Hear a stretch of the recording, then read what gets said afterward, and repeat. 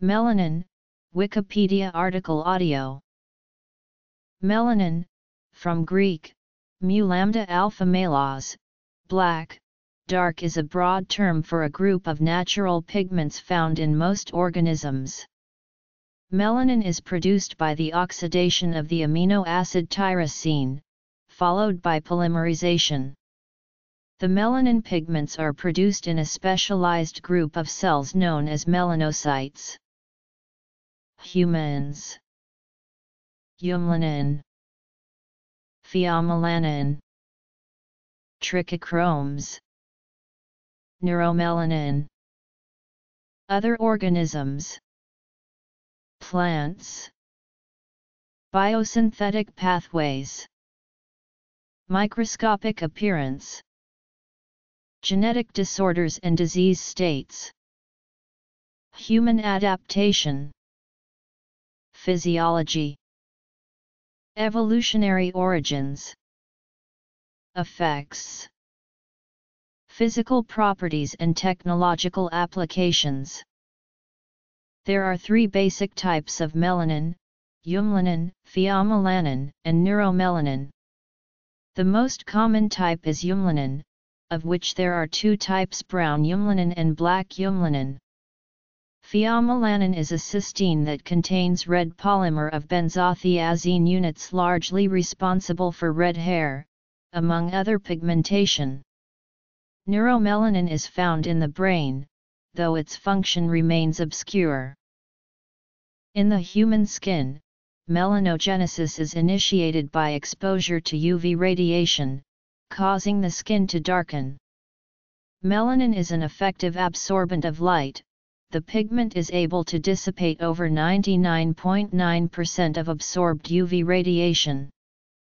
Because of this property, melanin is thought to protect skin cells from UVB radiation damage, reducing the risk of cancer, and it is considered that exposure to UV radiation is associated with increased risk of malignant melanoma, a cancer of melanocytes. Studies have shown a lower incidence for skin cancer in individuals with more concentrated melanin, i.e. darker skin tone. However, the relationship between skin pigmentation and photoprotection is still being investigated. In humans, melanin is the primary determinant of skin color. It is also found in hairs, the pigmented tissue underlying the iris of the eye, and the stria vascularis of the inner ear. In the brain, tissues with melanin include the medulla and pigment-bearing neurons within areas of the brainstem, such as the locus coeruleus and the substantia nigra. It also occurs in the zona reticularis of the adrenal gland. The melanin in the skin is produced by melanocytes, which are found in the basal layer of the epidermis. Although, in general, human beings possess a similar concentration of melanocytes in their skin, the melanocytes in some individuals and ethnic groups produce variable amounts of melanin.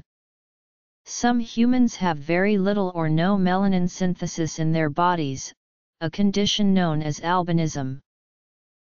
Because melanin is an aggregate of smaller component molecules, there are many different types of melanin with differing proportions and bonding patterns of these component molecules. Both pheomelanin and eumelanin are found in human skin and hair, but eumelanin is the most abundant melanin in humans, as well as the form most likely to be deficient in albinism. Eumelanin polymers have long been thought to comprise numerous cross-linked 5,6-dihydroxyindole and 5,6-dihydroxyindole 2-carboxylic acid polymers. Pheomelanins impart a pink to red hue, depending upon the concentration. Pheomelanins are particularly concentrated in the lips, nipples, glans of the penis, and vagina. When a small amount of brown eumelanin in hair, which would otherwise cause blonde hair, is mixed with red pheomelanin, the result is strawberry blonde. Pheomelanin is also present in the skin, and redheads consequently often have a more pinkish hue to their skin as well. In chemical terms, pheomelanins differ from eumelanins in that the oligomer structure incorporates benzothiazine and benzothiazole units that are produced, instead of DHI and DHICA, when the amino acid L-cysteine is present. Trichochromes are pigments produced from the same metabolic pathway as the eumelanins and pheomelanins, but unlike those molecules they have low molecular weight. They occur in some red human hair. Neuromelanin is a dark insoluble polymer pigment produced in specific populations of catecholaminergic neurons in the brain. Humans have the largest amount of NM, which is present in lesser amounts in other primates, and totally absent in many other species. However, the biological function remains unknown, although human NM has been shown to efficiently bind transition metals such as iron, as well as other potentially toxic molecules. Therefore, it may play crucial roles in apoptosis and the related Parkinson's disease. Melanins have very diverse roles and functions in various organisms. A form of melanin makes up the ink used by many cephalopods as a defense mechanism against predators. Melanins also protect microorganisms, such as bacteria and fungi, against stresses that involve cell damage such as UV radiation from the sun and reactive oxygen species. Melanin also protects against damage from high temperatures, chemical stresses, and biochemical threats. Therefore, in many pathogenic microbes melanins appear to play important roles in virulence and pathogenicity by protecting the microbe against immune responses of its host. In invertebrates, a major aspect of the innate immune defense system against invading pathogens involves melanin.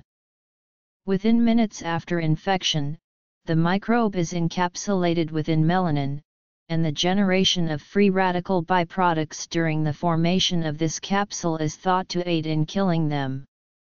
Some types of fungi, called radiotrophic fungi, appear to be able to use melanin as a photosynthetic pigment that enables them to capture gamma rays and harness this energy for growth. The darker feathers of birds owe their color to melanin and are less readily degraded by bacteria than unpigmented ones or those containing carotenoid pigments. Feathers that contain melanin are also 39% more resistant to abrasion than those that do not because melanin granules help fill the space between the keratin strands that form feathers. Melanin is also important in mammalian pigmentation. The coat pattern of mammals is determined by the agouti gene which regulates the distribution of melanin. The mechanisms of the gene have been extensively studied in mice to provide an insight into the diversity of mammalian coat patterns. Melanin in arthropods has been observed to be deposited in layers thus producing a Bragg reflector of alternating refractive index. When the scale of this pattern matches the wavelength of visible light, structural coloration arises, giving a number of species an iridescent color. Arachnids are one of the few groups in which melanin has not been easily detected, though researchers found data suggesting spiders do in fact produce melanin. Some moth species, including the wood tiger moth, convert resources to melanin in order to enhance their thermoregulation. As the wood tiger moth has populations over a large range of latitudes, it has been observed that more northern populations shower higher rates of melanization. In both yellow and white male phenotypes of the wood tiger moth, individuals with more melanin had a heightened ability to trap heat but an increased predation rate due to a weaker and less effective aposematic signal. Melanin produced by plants are sometimes referred to as catechol melanins as they can yield catechol on alkali fusion. It is commonly seen in the enzymatic browning of fruits such as bananas. chestnut shell melanin can be used as an antioxidant and coloring agent. Biosynthesis involves the oxidation of indole 5,6 quinone by the tyrosinase type polyphenol oxidase from tyrosine and catecholamines leading to the formation of catechol melanin. Despite this many plants contain compounds which inhibit the production of melanins. The first step of the biosynthetic pathway for both eumelanins and pheomelanins is catalyzed by tyrosinase. Dopaquinone can combine with cysteine by two pathways to benzothiazines and pheomelanins. Also, dopaquinone can be converted to leukodopachrome and follow two more pathways to the eumelanins.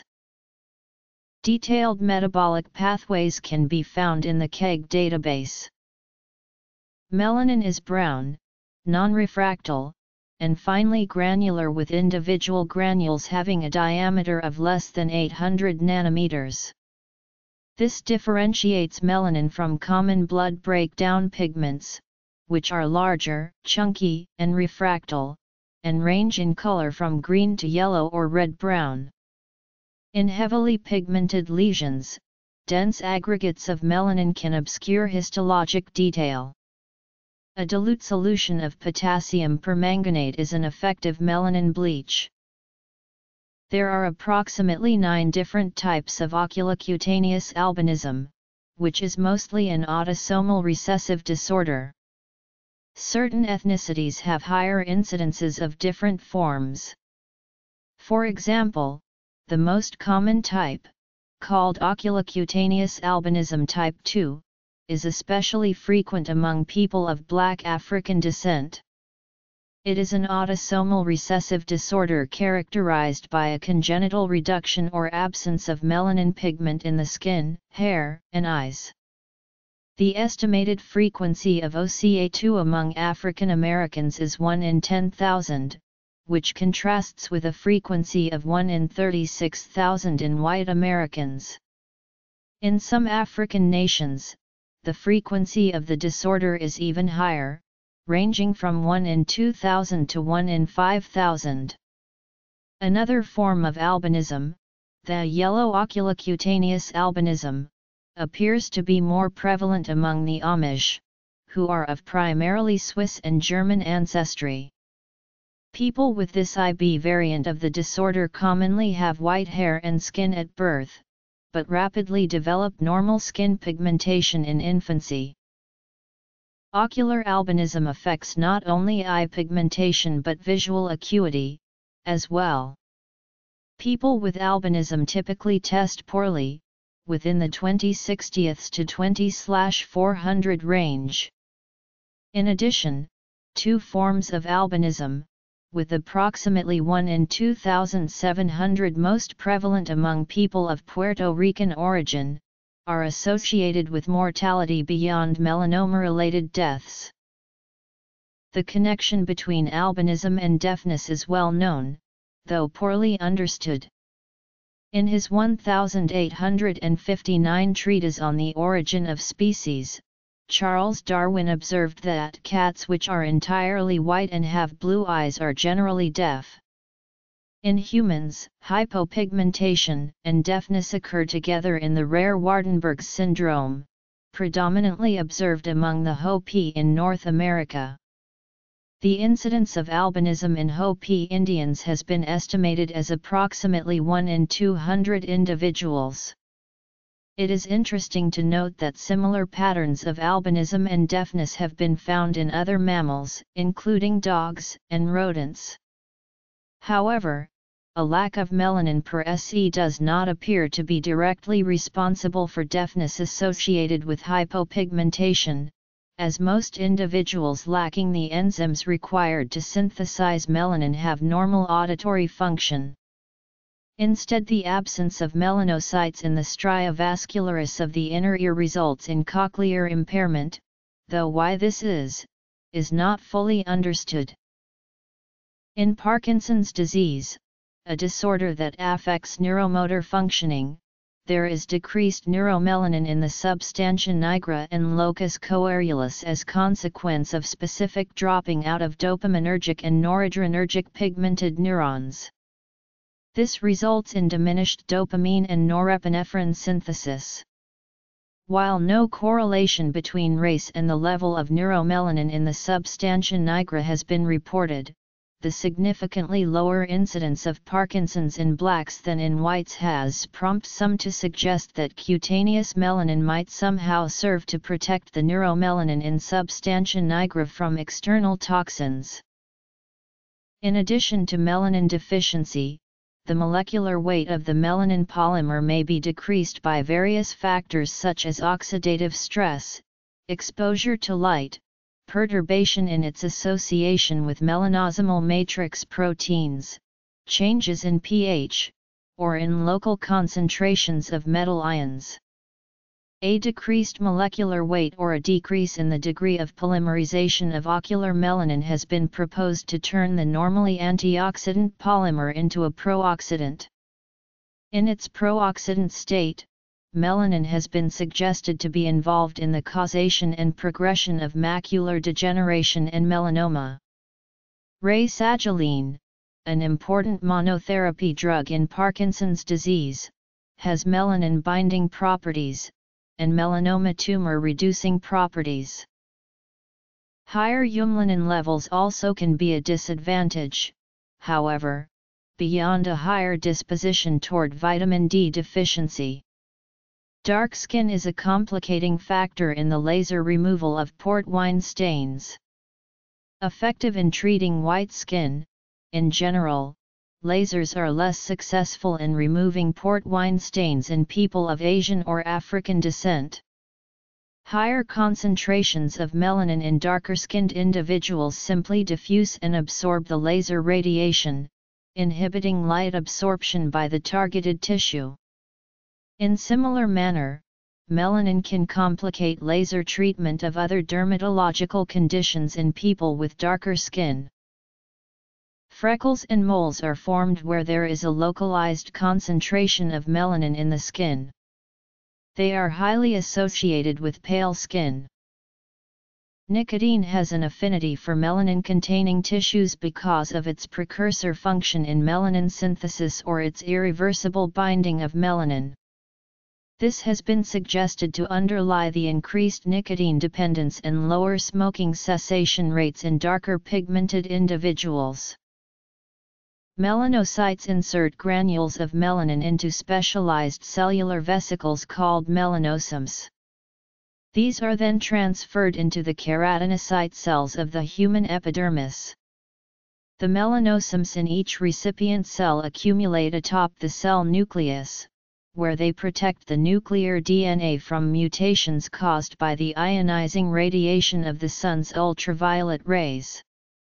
In general, people whose ancestors lived for long periods in the regions of the globe near the equator have larger quantities of eumelanin in their skins. This makes their skins brown or black and protects them against high levels of exposure to the sun, which more frequently result in melanomas in lighter-skinned people. Not all the effects of pigmentation are advantageous.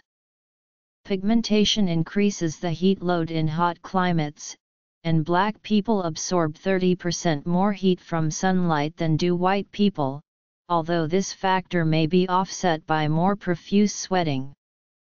In cold climates black skin entails more heat loss by radiation. Pigmentation also hinders synthesis of vitamin D, so that in areas of poor nutrition black children are more liable to rickets than white children. Since pigmentation appears to be not entirely advantageous to life in the tropics, other hypotheses about its biological significance have been advanced, for example a secondary phenomenon induced by adaptation to parasites and tropical diseases. Archaic humans evolved to have dark skin color around 1.2 million years ago, as an adaptation to a loss of body hair that increased the effects of UV radiation. Before the development of hairlessness, archaic humans had reasonably light skin underneath their fur, similar to that found in other primates. The most recent scientific evidence indicates that anatomically modern humans evolved in Africa between 200,000 and 100,000 years, and then populated the rest of the world through one migration between 80,000 and 50,000 years ago, in some areas interbreeding with certain archaic human species. It seems likely that the first modern humans had relatively large numbers of eumelanin-producing melanocytes, producing darker skin similar to the indigenous people of Africa today. As some of these original people migrated and settled in areas of Asia and Europe, the selective pressure for eumelanin production decreased in climates where radiation from the sun was less intense. This eventually produced the current range of human skin color. Of the two common gene variants known to be associated with pale human skin, MC1R does not appear to have undergone positive selection, while SLC24A5 has undergone positive selection. As with peoples having migrated northward, those with light skin migrating toward the equator acclimatize to the much stronger solar radiation. Most people's skin darkens when exposed to UV light, giving them more protection when it is needed. This is the physiological purpose of sun tanning. Dark-skinned people, who produce more skin-protecting eumelanin, have a greater protection against sunburn and the development of melanoma, a potentially deadly form of skin cancer, as well as other health problems related to exposure to strong solar radiation, including the photodegradation of certain vitamins such as riboflavins, carotenoids, tocopherol, and folate. Melanin in the eyes, in the iris and choroid, helps protect them from ultraviolet and high-frequency visible light, people with gray, blue, and green eyes are more at risk for sun-related eye problems. Further, the ocular lens yellows with age, providing added protection. However, the lens also becomes more rigid with age, losing most of its accommodation the ability to change shape to focus from far to near a detriment due probably to protein cross-linking caused by UV exposure. Recent research suggests that melanin may serve a protective role other than photoprotection. Melanin is able to effectively ligate metal ions through its carboxylate and phenolic hydroxyl groups, in many cases much more efficiently than the powerful chelating ligand ethylenediamine tetraacetate. Thus, it may serve to sequester potentially toxic metal ions, protecting the rest of the cell. This hypothesis is supported by the fact that the loss of neuromelanin observed in Parkinson's disease is accompanied by an increase in iron levels in the brain. Evidence exists in support of a highly cross-linked heteropolymer bound covalently to matrix scaffolding melanoproteins. It has been proposed that the ability of melanin to act as an antioxidant is directly proportional to its degree of polymerization or molecular weight. Suboptimal conditions for the effective polymerization of melanin monomers may lead to formation of lower molecular weight, prooxidant melanin that has been implicated in the causation and progression of macular degeneration and melanoma. Signaling pathways that upregulate melanization in the retinal pigment epithelium also may be implicated in the downregulation of rod outer segment phagocytosis by the RPE. This phenomenon has been attributed in part to foveal sparing in macular degeneration.